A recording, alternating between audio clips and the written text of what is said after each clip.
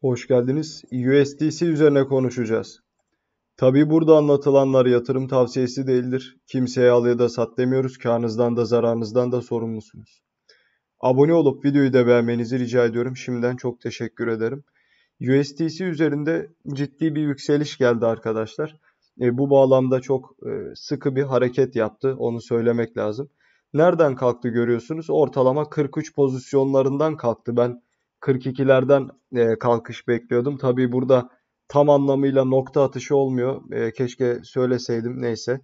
Şimdi e, ne yaptı? Buralara kadar geldi. Daha fazla dayanamadı. Yani nokta atışı bir desteğe kadar düşmedi. Üzerinden tamponla birlikte yön yukarı halde çıktı. Beklenen 55'ler üzerine kadar da hatta 56'lara kadar iğnesini attı.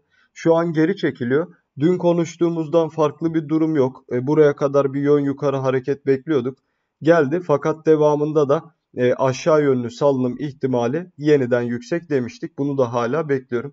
Şimdi bulunduğu pozisyonda ilk etapta tekrar nokta atışı 41.6'lara kadar çekilip arkadaşlar biraz yatay hareketler yapabileceğini e, düşünüyorum. Onu söyleyeyim. Şu an bakın ABD enflasyon oranını açıklayacak. Çok dikkat, çok sert hareketler gelebilir. Her videoda uyarmaya e, gayret ediyorum, çalışıyorum. Onu da söyleyeyim. E, o yüzden genel itibariyle ben hala orta uzun vadede USDC'nin 35'lere kadar hiç değilse ilk etapta düzeltme eğilimli olduğunu düşünüyorum. İzlediğiniz için çok teşekkür ederim. Abone olup videoyu da beğenebilirsiniz. Bol kazançlar diliyorum herkese. Hoşça kalın.